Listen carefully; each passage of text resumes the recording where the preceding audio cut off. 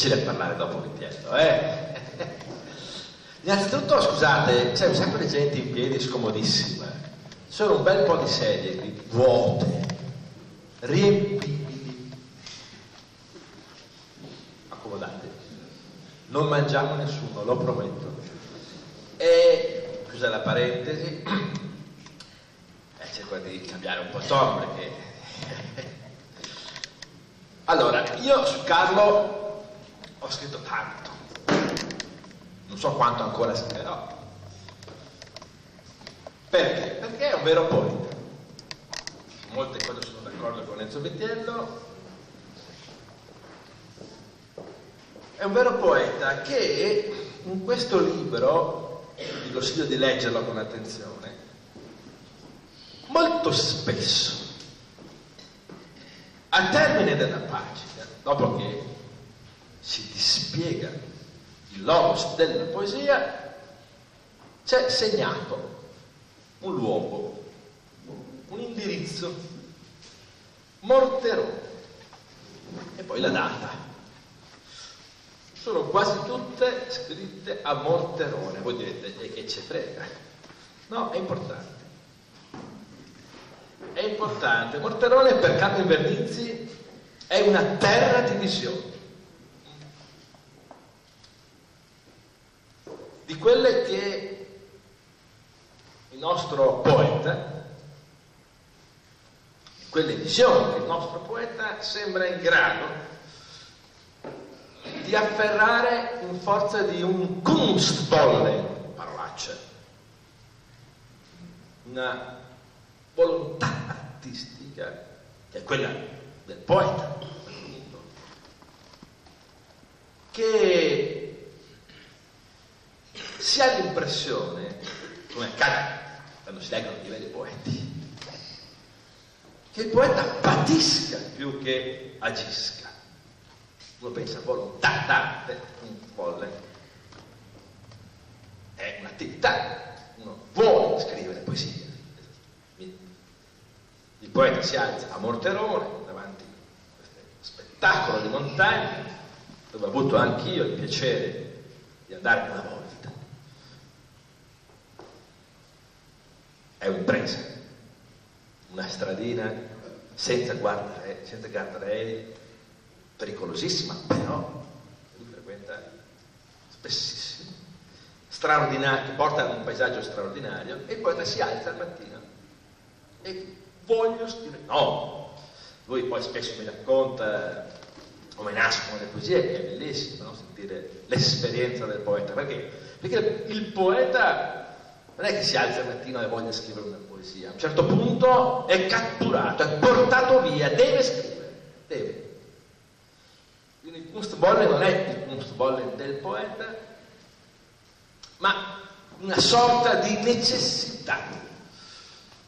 Però, anche qui, vorrei porre la questione in modo più possibile semplice. Di che necessità si tratta? Vitello ha detto cose giustissime su cui concordo veramente molto, troppo forse, troppo, troppo. Impensierissimo. Ma eh, da cosa si è catturati quando ci si appresta a scrivere queste cose che per l'appunto ci mettono in difficoltà? Non sappiamo bene cosa fare.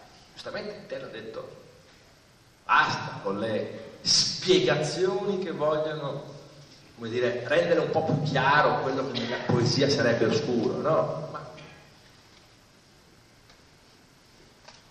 eh, do- dobbiamo chiederci, ma cosa fa uno quando è catturato e scrive queste cose? Io dico che eh, per cercare un po' di farsi un'idea questa esperienza straordinaria della vera poesia come quella di Carlo in Venezia, non possiamo che cominciare a riflettere brevissimamente, semplicissimamente, sul parlare quotidiano, sui flussi di parole che quotidianamente attraversiamo e ci attraversa. Quali caratteristiche hanno i flussi di parole quotidiani che frequentiamo dalla mattina alla sera? Quando per l'appunto comunichiamo o ci illudiamo di comunicare. Quando cioè ci collochiamo in quella dimensione di transitività che non è quella della poesia. Cosa, cosa facciamo? Provate a pensarci un po', non è poi io modesto, immodesto punto di vista, faccio anch'io come Fabio Martini, no? Luce, modesto, immodesto punto di vista. E cosa facciamo? Facciamo, se ci pensate, una cosa molto semplice. Noi nominiamo esperienze assolutamente, irriducibilmente uniche uniche, irripetibili, inconfondibili, le nominiamo producendo istantaneamente una confusione. Mi spiego. Le omologhiamo.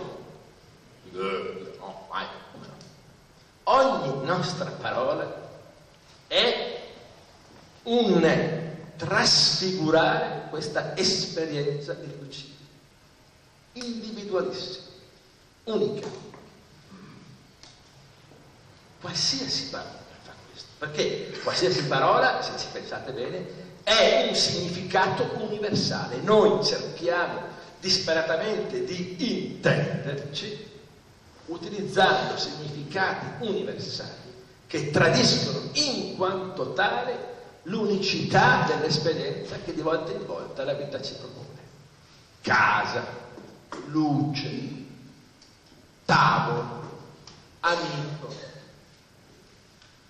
sono tutti concetti universali.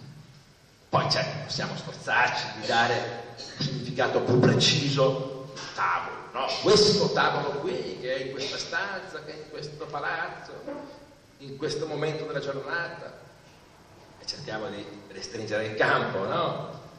Ma sono tutte parole universali. Grandi filosofi ce l'hanno spiegato. Le parole sono tutte trattrici rispetto a quelli che dicono. Cercano disperatamente, e lo dicono, di disegnare l'esperienza della sua illugibilità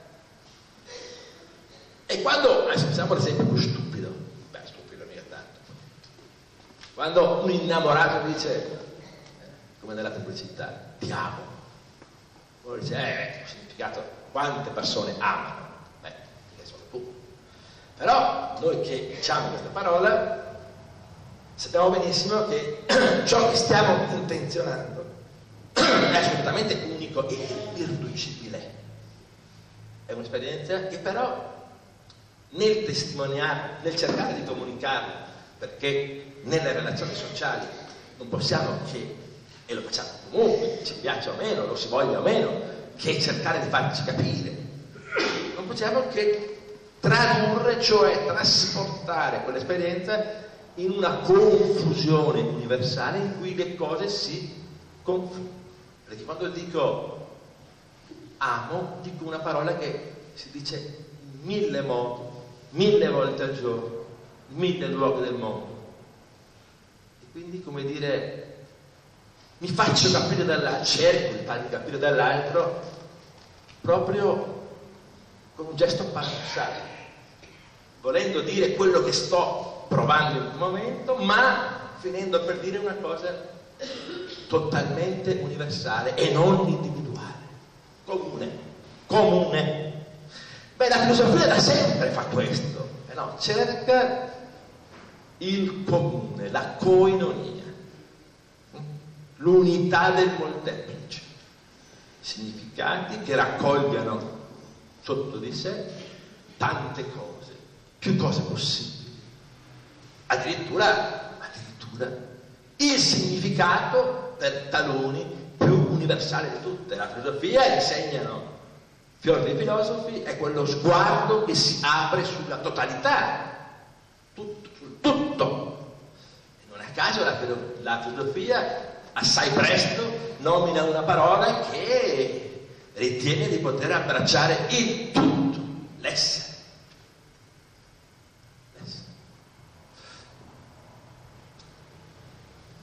Platone dice una cosa sui poeti, anzi, sulla poiesis, parola.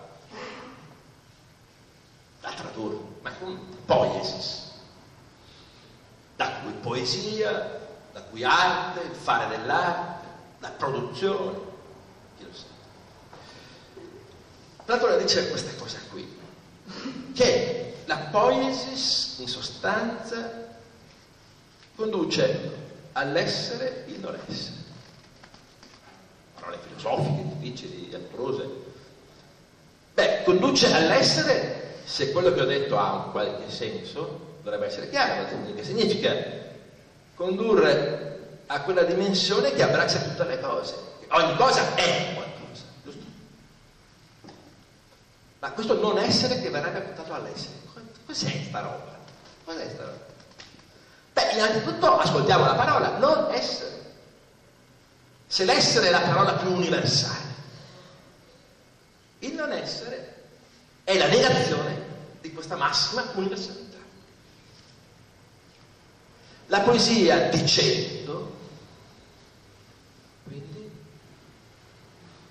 sembra quasi non poter che condurre ciò che non è universale laddove invece si situa il luogo della universalità massima.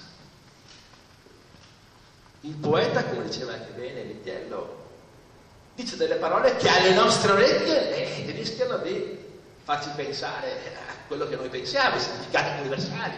Vento è vento, c'è il vento di questa mattina, c'è il vento dell'altra sera, c'è il vento. Il poeta parlando e genera l'equivoco perché dice delle parole universali. Però Platone, che ha capito bene la questione, eh, aveva paura dei poeti, storia di semplice, ma insomma, semplifichiamola, capisce che sono personaggi da tenere a bada. Perché? Perché questi trasportano sul piano della comunicazione, della universalità del concetto ciò che non è universale, che non è concetto. E ce lo sbattono di fronte. C'è la prima poesia di questo bellissimo libro che dice, non leggo bene come Viterbo, ma insomma, dico come poeta. Einstein non c'entra, nell'invarianza, importa il diverso. Entracimo nel contesto di un'uguaglianza. Eh, cosa fa Donato? Spiega la poesia. Attenzione Donato, non puoi spiegare la poesia. Ma qui la poesia si spiega in forma paradossale.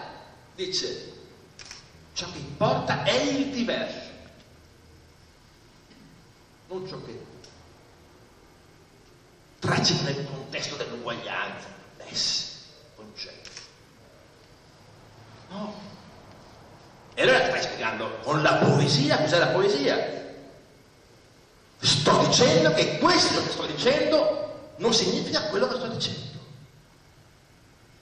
Questo sto dicendo. Se questo è vero, la mia spiegazione non ha nessun senso. Bel paradosso. Se questo è vero, non è vero. Questo è la, il problema con cui la, la, poesia ci costringe a fare i compiti. Sto spiegando con concetti, sto spiegando con concetti universali il fatto che la poesia non vuole e non può e non dà concetti universali, ma immette sul piano dell'universalità qualcosa di tremendo per il piano dell'universalità, di insostenibile. Rompe la coinonia questo fa il poeta. Ci scaraventa nell'orizzonte di un polemos assoluto Qual è il polemos, la guerra, l'opposizione assoluta? Quella delle esperienze individuali, irriducibili, che non sono accomunate da nulla. Polemos irriducibile, ciò che non è accomunato da nulla, può essere in lotta radicale con tutto il resto. Il poeta, qui Carlo Venezzi lo dice in forma evidentemente paradossale, che sta dicendo qualcosa che se è vero quello che dice, non è riducibile a questo qualcosa che abbiamo spiegato. E allora questo polemo, questa rottura di ogni relazione, l'ha detto anche Viterbo prima in altro modo, questa, questo patimento che costringe il poeta a fare tutto ciò, è davvero, l'aveva capito, uno sporgersi azzardato, qui cito i Bernizzi, sui dirupi in sovrasto, i dirupi, le alture di Morterone che a lui dicono questo, dicono questo. Una pagina dopo le poesie che ha letto Vitello prima, c'è un'altra poesia. Nuda, turrita, arsa de, dal ligno vento, si invertica senza tempo l'inusta altura, incarbonita senza fine, catastrofe d'alba triluce, vano olocausto del niente. Queste inuste alture sono le sporgenze di individualità irriducibili che dicono polemos assoluto, che non vogliono lasciarsi ridurre ai significati, che significano negando quel che significa. Ma così facendo, e tutte le poesie, adesso io non voglio leggere altre, se no poi lasciamo il poeta che le legga, ma e tutte le poesie martellano ossessivamente su che cosa? Su questa sporgenza del dire poetico che vuole toccare queste polarità irriducibili, queste differenze irriducibili che non si lasciano ricondurre alla identità dei concetti, dei significati, nella piena consapevolezza che in questi vertici, in queste alture, in queste sporgenze, in queste erte sempre nude, cito i Vernizzi,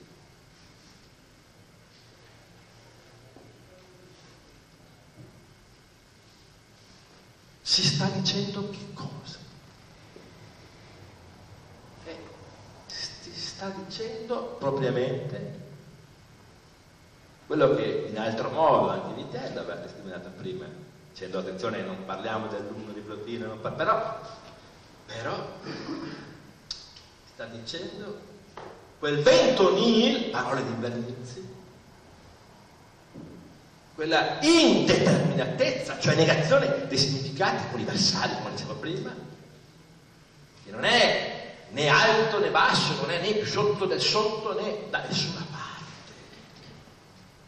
Perciò ogni parola può osare, tentare di farla risuonare, di farlo risuonare, questa indeterminatezza, questo vento nero